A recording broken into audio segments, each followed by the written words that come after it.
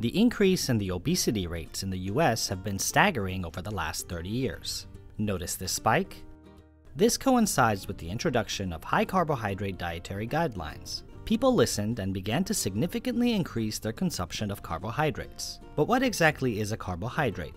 Look at this sugar molecule that you know in excess is bad for you. And here's a simple carbohydrate chain from bread, potato, or pasta. What's the difference? Not much. As soon as this chain enters your mouth, enzymes begin to break it down to simple sugar molecules. This is what we call the hidden sugar effect. The problem is that your body can only have approximately 2 teaspoons of sugar in your bloodstream at any given time, otherwise it's toxic. So, when you eat carbohydrates that convert to more than 2 teaspoons of these hidden sugars, here's what happens. Your body has to scramble to put excess sugar away. It packs them into cells where the sugars are converted to fat. But the damage doesn't stop there. Eventually, after years of eating foods that are high in carbohydrates, your body's ability to scramble and store that sugar away begins to break down. This leads to a dangerous situation where the sugar in your bloodstream begins to rise. This is pre-diabetes and eventually type 2 diabetes. So what kinds of foods have hidden sugars? Let's compare the impact on your blood sugar from eating some different foods. To keep it simple, imagine you could wear a pair of sugar goggles that show you the equivalent sugar impact of a particular food in your blood. Let's start with a food that you know is pretty bad for you. Here's a can of sugary soda. That would have an effect on your blood sugar equal to eating over 7 teaspoons of sugar. But lots of foods have the hidden sugar effect. Let's take a plain bagel.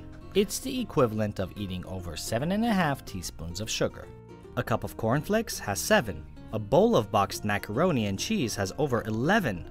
You can really see how foods high in hidden sugars can increase your weight and put you on a path to diabetes. Even some foods that most people would think of as totally healthy have a surprising amount of hidden sugars. A medium potato has the same effect on blood sugar as 9 teaspoons of sugar. A cup of oatmeal looks healthy, right? But it has a hidden sugar equivalent of 5 teaspoons of sugar. A cup of brown rice, over 6 teaspoons. By now, you're probably thinking, these hidden sugars are all around me. What can I eat to avoid the damage hidden sugars can do to me? The answer is focus on good proteins, healthy fats, and high fiber carbohydrates. These types of foods have very little hidden sugars, they keep you in a healthy range of blood sugar so you don't build fat and you help prevent diabetes. For example, a blackberry spinach salad with goat cheese medallions, just 2 teaspoons of hidden sugars.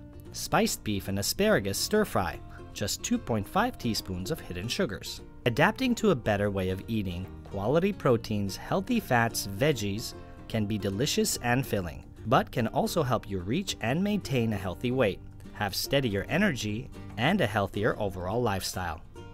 To learn more, visit hiddensugar.com.